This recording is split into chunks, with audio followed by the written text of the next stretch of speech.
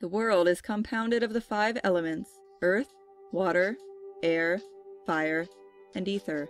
So too is our body. It is a sort of miniature world, hence the body stands in need of all the elements in due proportion pure earth, pure water, pure fire or sunlight, pure air, and open space. When any one of these falls short of its due proportion, illness is caused in the body.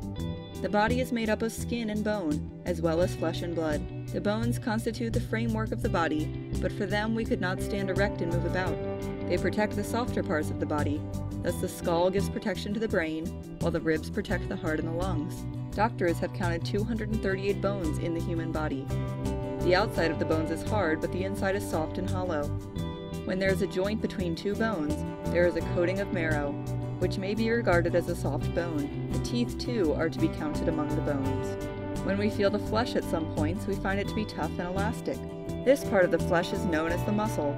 It is the muscles that enable us to fold and unfold our arms, to move our jaws, and to close our eyes.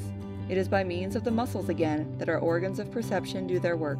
It is beyond the province of this book to give a detailed account of the structure of the body, nor has the present writer enough knowledge to give such an account. We will therefore content ourselves with just as much information as is essential for our present purpose. The most important portion of the body is the stomach. If the stomach ceases to work even for a single moment, the whole body would collapse.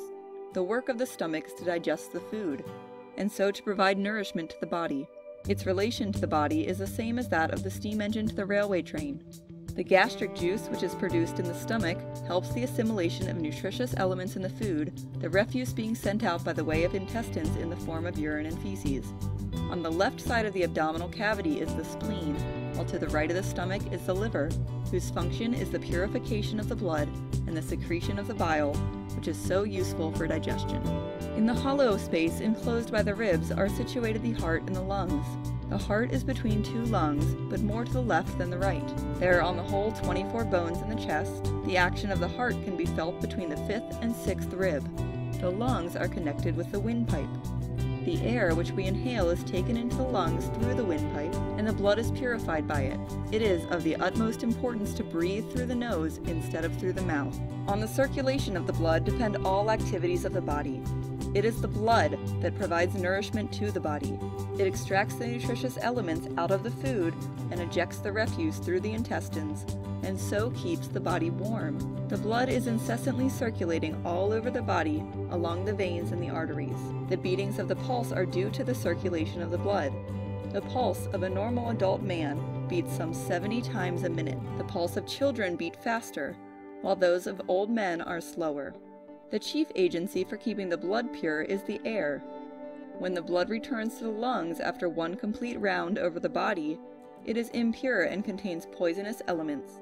The oxygen of the air, which we inhale, purifies this blood and is assimilated into it, while the nitrogen absorbs the poisonous matter and is breathed out. This process goes on incessantly. As the air has a very important function to perform in the body, we shall devote a separate chapter to a detailed consideration of the same. End of chapter 2. Recording by Jackie Castle.